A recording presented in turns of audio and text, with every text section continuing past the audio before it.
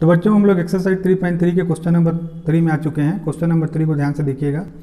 तो three x minus y equal to three और nine x minus three y equal to nine तो इसको हम लोग क्या करेंगे? इक्वेशन वन दे देते हैं और इसको इक्वेशन टू दे देते हैं। अगर आप इक्वेशन टू को ध्यान से देखेंगे तो इसमें लेफ़्ट हैंड साइड में भी थ्री कामन है और राइट हैंड में भी थ्री कामन है। तो हम लोग इसको कैसे कर सकते हैं? हम लोग from equation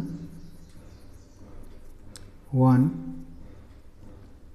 Equation one से क्या हो जाएगा? अगर हम y को इधर ट्रांसफ़र कर दें तो हो जाएगा three x equal to y plus three or y equal to अभी थ्री को मैं इधर ट्रांसफ़र कर दूँ तो हो जाएगा थ्री एक्स माइनस थ्री ठीक है? तो देखिए, अब y का वैल्यू क्या आ गया? थ्री एक्स माइनस थ्री आ गया। From equation one y equal to three x minus three putting this value in equation two इस वैल्यू को इक्वेशन टू में पुट करते हैं हम लोग।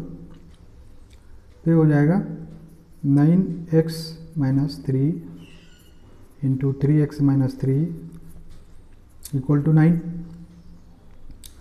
तो इसमें क्या हो जाएगा? आगे सॉल्व करते हैं। तो nine x minus three into three nine x minus three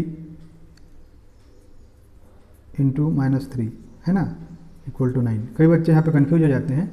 तो पहली बात तो थ्री दोनों से मल्टीप्लाई होता है, इससे भी होता है, इससे भी होता है, और माइनस इंटू प्लस माइनस होगा, और इसमें माइनस इंटू माइनस प्लस हो जाएगा। कैसे बता रहा हूँ मैं?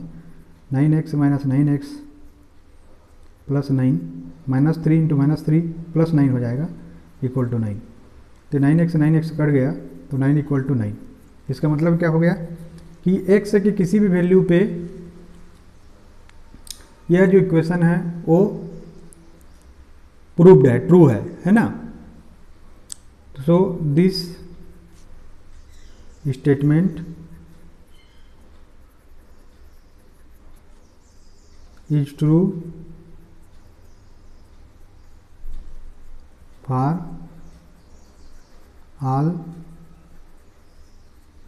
value of x x के सभी वैल्यू के लिए ये स्टेटमेंट ट्रू है। बट प्रॉब्लम क्या है इसमें? कि we we will not get a specific value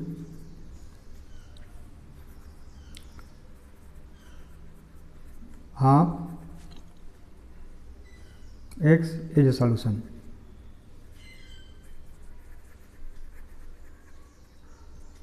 है ना? इसमें क्या है बेसिकली हम लोगों को कोई एक निश्चित वैल्यू नहीं मिलेगा। एक से कि हर वैल्यू के लिए जो एक्स वाई के सभी वैल्यू के लिए। Similarly y also not a y also not a specific value तो इसमें एक्स वाई का कोई स्पेसिफिक वैल्यू हम फाइंड आउट नहीं कर सकते हैं। ये प्रॉब्लम क्यों हो रहा है? बिकॉज़ इसमें क्या है? Equation one because equation one and equation two are same इसमें इक्वेशन वन और इक्वेशन टू सेम है। सो so, क्या पॉसिबल है? They have infinitely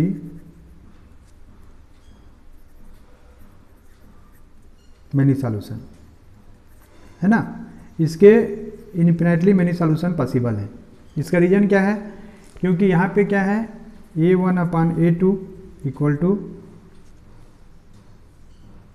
है ना? ये सब इक्वल है इसके। B one upon b two equal to c one upon c two ठीक है?